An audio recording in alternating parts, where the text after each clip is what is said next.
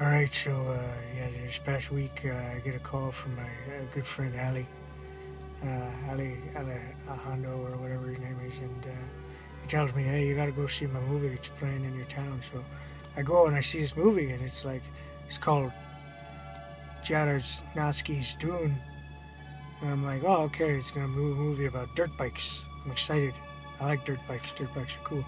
So uh, go in there and oh, there's all these penises and ships that look like penises and penises that look like ships and uh, yeah I, I don't know about this space flight thing but i'm excited when it happens because this looks like it's going to be an interesting it was a good documentary about space flight i uh, look forward to uh, going to the space station in a gigantic penis